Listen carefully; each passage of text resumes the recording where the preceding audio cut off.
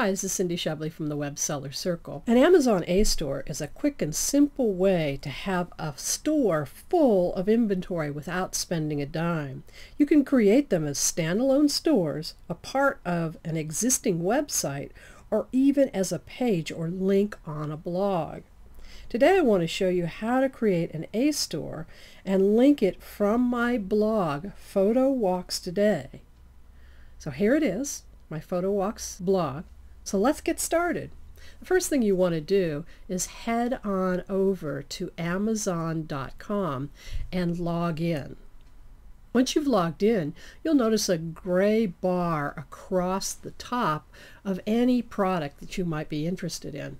You could add this uh, product to a widget or simply add it to an existing aStore by clicking on Add to aStore.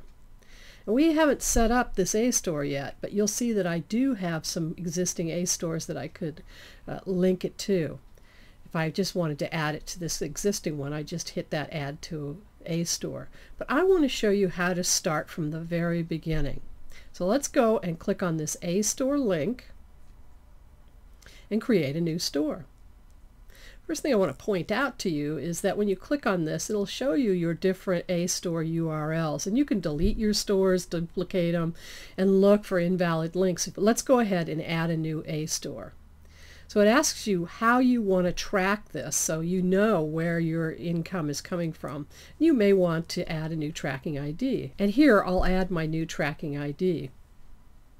Photo walks today and see if somebody else has used that. Nope, it's available. If it wasn't, they would recommend one that I could use. But it is, so let's just get continue. And now the process starts. You're first asked to make some decisions by clicking on those radio boxes. Hide the category navigation, mature content, now, do I want to enable a link back to my site in the navigation? Well, yes, because I want people to go over, but if they don't want to see things, I want them to come back to my blog and look around. So I'm going to type in the name of the site and the URL of the blog. Now, if this was a standalone store, I would want to enable an About Me page and write that information. Once we have that set up, let's add a category page. Click on Add a Category page, and you'll notice that now I have a new category. We want to name this category,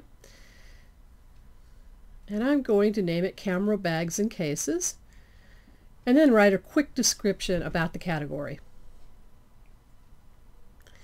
And I have two ways to add products. I can add an individual product, but you'll notice there's a drop-down menu, and I can add products from Listmania or from an Amazon category. If I choose the category, I click on Select a Category, and now all the Amazon categories pop up. what I'll want to do is navigate through the different categories to find cameras and photos uh, and where the camera bags and cases might be stored. Here we are, camera bags and cases. Now you can see I have a whole bunch of choices here. Maybe I just want to take them all, all those subcategories, and to do that I would just click on that Include All Subcategories. Now I can filter specifically what I want out of those categories by typing in a name. And in my case, maybe I just want the Lowepro camera bags, and I would just type that in. Then only Lowepro would show up in the search. But I don't want to, I don't want to filter it that much this time, so I'm going to take that out and click Save. And Amazon will show all products in those categories. Now here are all my subcategories that we chose as well as the, the main category. So let's try adding another category page.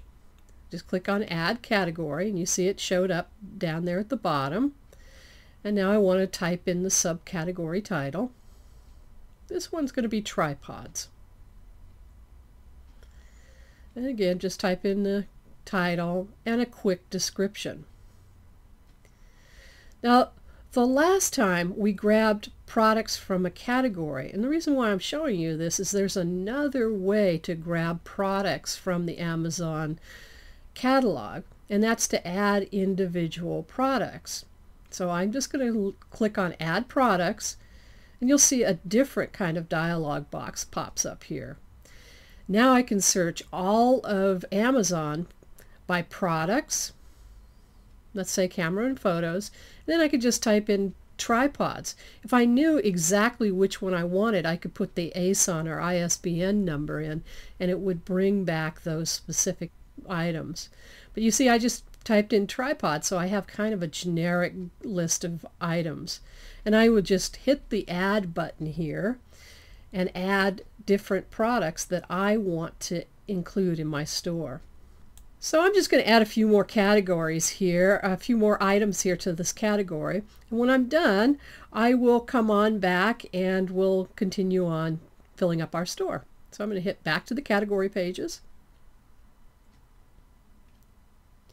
And here we are back at the main control panel. And there's my tripods and monopods. Now if I didn't want it down at the very bottom of the list, I can move this around in, in any order I want by simply using these up and down arrows. You notice how it's moving up as I click the up button. So I can rearrange the sort order any way I'd like. Once you have all of the inventory you want, just click continue and finish setting up your store. Now here's what our store will look like. It's the usual Amazon colors. We can change the theme. There's a drop down menu. I'm just going to pick this first one. It's not bad, but maybe I want to change the background color to match my photo walks a little bit closer. So I'm going to change that color. Now the background's a little bit grayer. You can see here you can change font colors and type sizes and all sorts of different customizations. Go ahead and have fun. Rename your store. I don't think my associate store is all that interesting. You can also configure your own store header here if you want. You can customize it, make it look more like the look and feel of your website, tell Amazon where that JPEG is housed, and input that information here, and you can have a customized aStore. Let's hit continue.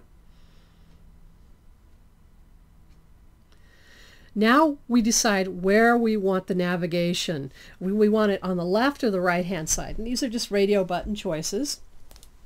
Just pick one. And you also have all sorts of deci decisions here to make whether you want Listmania, uh, similar items.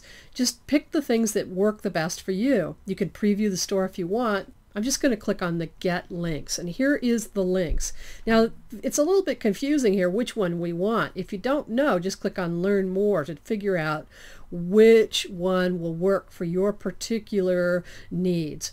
Now for me I'm just going to make a separate page on my website for this aStore. So I'm just going to grab this URL and go over to Photo Walks Today and log in. Once I've logged in, now I'm going to go to my links area and create a new link.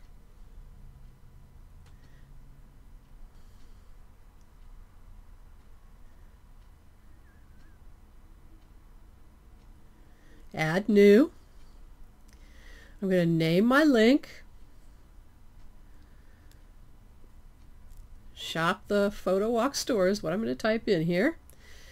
And here where it says web address, I'm going to paste in that code that Amazon gave me and then a little description of the link.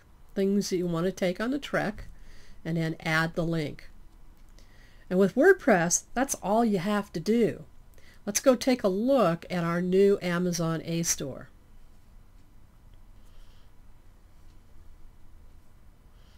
Here are my pages. Shop the Photo Walk store. There it is. Look at that. There's all our categories. There's our inventory. There's our similar items. That's all it takes to create an Amazon store. This is Cindy Shubley from the Web Seller Circle. I hope you've enjoyed this tip. Find more at the Web Seller Circle. I hope to see you there.